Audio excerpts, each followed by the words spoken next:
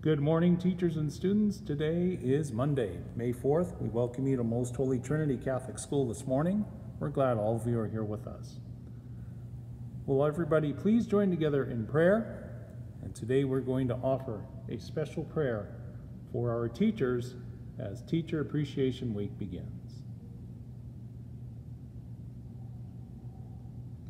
In the name of the Father, and of the Son, and of the Holy Spirit. Amen. Our Father, who art in heaven, hallowed be thy name. Thy kingdom come, thy will be done, on earth as it is in heaven. Give us this day our daily bread, and forgive us our trespasses, as we forgive those who trespass against us. And lead us not into temptation, but deliver us from evil. Amen. Now let's join together in a special prayer for our teachers here at Most Holy Trinity. Mother Mary, you are the Son of God. We ask that you intercede for our teachers.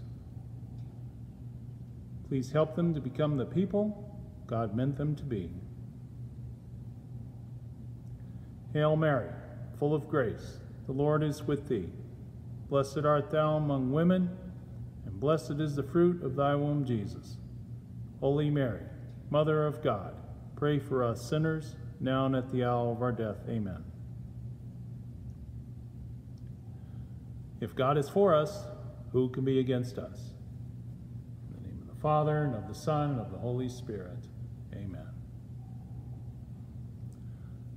I pledge allegiance to the flag of the United States of America and to the republic for which it stands, one nation under God, indivisible, with liberty and justice for all. Honor the Texas flag. I pledge allegiance to thee, Texas, one state under God, one and indivisible. Thank you everyone for joining me in prayer this morning. And this does begin Teacher Appreciation Week. Boys and girls, I want you sometime this week to reach out to your teacher and thank him or her for the work they are doing to help you. And we also want to acknowledge our very special teachers who are at home working with you, that is your parents, your grandparents. Please be sure to thank them also for all the work they are doing and for helping you get the best education experience possible. To all our parents, grandparents, aunts and uncles, whoever's helping children out there, thank you so very much and may God bless you always. May is the month of Mary, so we are doing the rosary this evening at 7 p.m. And We did send out an email with invitations. If you would like to participate this evening's rosary, please uh, respond and let me know and I will send you an invite. If you've already responded, thank you so very much for doing that. This concludes our announcements for today. Let's everyone have a blessed day.